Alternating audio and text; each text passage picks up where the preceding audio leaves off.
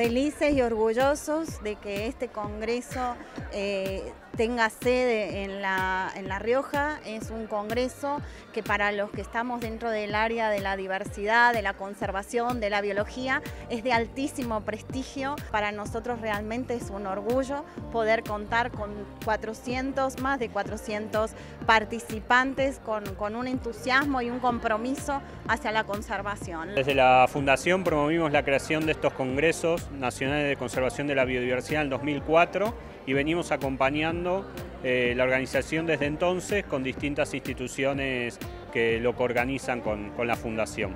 Va a tener una temática más relacionada con la biodiversidad de esta región del país, como lo han tenido en otras oportunidades en Patagonia o en la zona centro. Eh, con muchas expectativas han venido mm, personas que, de Estados Unidos, de Alemania, además de ser eh, un congreso nacional, eh, se integran personas del exterior.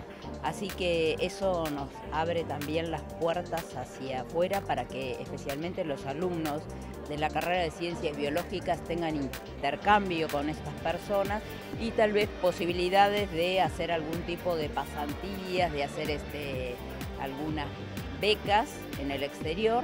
Acá, entre los que más van a capitalizar seguramente este congreso son los estudiantes, los estudiantes de la carrera de biología, que son, es una carrera nueva de la universidad, pero que a nosotros nos importa mucho que pueda crecer y que pueda despertar vocaciones en muchos jóvenes para que se incluyan. Por eso es una eh, oportunidad, insisto, para construir un debate y para desarrollar un conocimiento eh, adentro de la provincia y para afuera también acerca de la importancia que tiene el cuidado del ambiente y la biodiversidad en la provincia. Es una zona árida o semiárida donde la conservación de la biodiversidad es muy importante y tiene que ver también con el aspecto productivo de la, de la provincia y bueno, un ambiente que es muy sensible justamente por sus características de, de zona árida. ¿no? Nos abren las puertas para el desarrollo de la ciencia y la tecnología en la universidad, que es el motor para nuestra, nuestro trabajo diario.